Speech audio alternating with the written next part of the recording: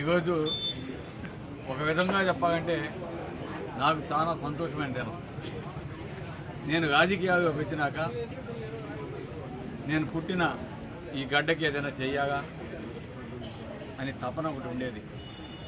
కానీ ప్రజలంతా కూడా నన్ను రెండు వేల పద్నాలుగులో గెలిపించినా కూడా ఆనాడు ప్రభుత్వం మాది గానందువలన అప్పటి ప్రభుత్వం ఎమ్మెల్యేకి ఎటువంటి అధికారాలు ఇవ్వకుండా మా అధికారాలన్నీ కూడా వారు తీసుకొని ఏ విధంగా అభివృద్ధికి అవకాశం ఇవ్వకుండా చేశారో మీ అందరికీ తెలుసు. అయినా కూడా నా మీద నమ్మకంతో రెండు వేల పంతొమ్మిదిలో రెండు వేల పద్నాలుగు కంటే మూడు టైంలు మెజార్టీ ఇచ్చి నా మీద నమ్మకంతో నన్ను గెలిపించినందుకు కావాలి ప్రజానికి కూడా చేతికెత్తి నమస్కరిస్తున్నాను.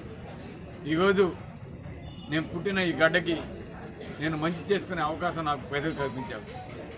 అందుకే ఈరోజు మొట్టమొదటిగా ఈరోజు ఎమ్మెల్యేగా రెండోసారి గెలిచిన తర్వాత మొట్టమొదటగా ఫౌండేషన్ స్టోను నేను ఎక్కడైతే పుట్టానో ఏ పాతగా అయితే పెట్టానో ఏ కుక్కలు కాకుండా బాడగా ఆడుకున్నానో అక్కడే మొదలు పెట్టడం నాకు చాలా సంతోషం ఉంది ఇక్కడి నుంచి ప్రారంభిస్తున్నాం.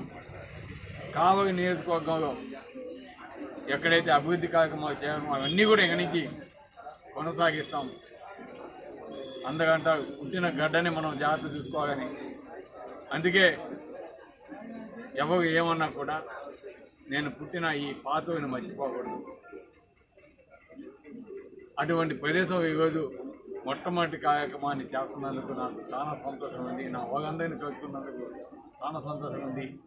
రెండు వేల పద్నాలుగు కూడా నేను ఇక్కడ వచ్చి సెంటర్గా మాట్లాడా. మీరంతా కూడా నన్ను ఆశీర్వదించండి. మన ప్రాంతాన్ని అభివృద్ధి చేస్తున్నాం అని. కానీ ఆశీర్వదించారు ప్రజలు. కానీ అభివృద్ధి అయితే తెగపోయా. మనసులో కుమిలిపోయా. ఈరోజు అవకాశం వచ్చింది. అవకాశాన్ని ఈరోజు తీర్చుకుంటున్నా. పూజ చేస్తున్నా. తప్పకుండా ఈ ప్రాంతాన్ని అభివృద్ధి తప్పకుండా చేస్తాం. అదేవిధంగా కావలి పట్టణాన్ని సుందరంగా తీర్చిదిద్దే బాధ్యత తప్పకుండా నా ఆశ. అది తప్పకుండా నెరవేరుస్తాను అదేవిధంగా ఈరోజు ముఖ్యంగా కావలి పట్టణం కంకోటి కావచ్చు. ఈరోజు పాతగానే కాదు చాలా చాలా ప్రదేశాలు. ఇటు మూడో వార్డు కావచ్చు రెండో వార్డు కావచ్చు మద్దూపాడు కొత్తగా వచ్చిన వార్డు కావచ్చు బాలకృష్ణ నాగు ఇందుగమ్మ కాగనగు అదేవిధంగా వైకుంఠపురము ఇవన్నీ కూడా చాలా బుడంగుంట ఇవన్నీ కూడా ముసునోగు ఇవన్నీ చాలా దారుణమైన పరిస్థితిలో ఉన్నాయి. వానాకాలం వస్తే పోగని పరిస్థితి. ఈ మధ్య బాలకృష్ణ నగర్ పోయాం ఏ విధంగా ఉన్నాయంటే రోడ్లు?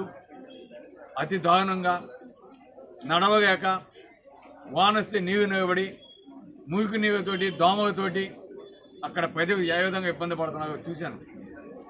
యాక్చువల్గా ఈ కార్యక్రమం మొట్టమొదటిగా ఆడే చేయాలి యాక్చువల్గా కానీ పుట్టిన గడ్డ పుట్టిన ప్లేసు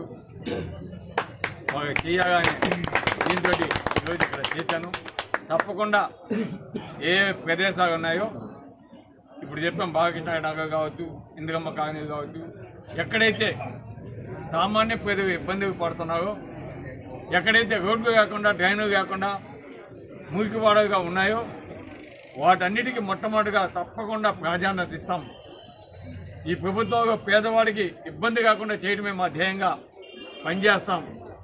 రోడ్డు మీద రోడ్డు వేసేది కాదు. ప్రజలకు అవసరమైన పనులు ముఖ్యమైన పనులు ఎక్కడైతే మట్టి రోడ్లు ఉన్నాయో ఎక్కడైతే డ్రైనేజ్ సౌకర్యం లేకుండా నీరు నిలబడుతున్నాయో అవన్నీ కూడా తప్పకుండా ఈ ప్రభుత్వంలో కంప్లీట్ చేస్తామని కూడా తెలియజేస్తున్నాం.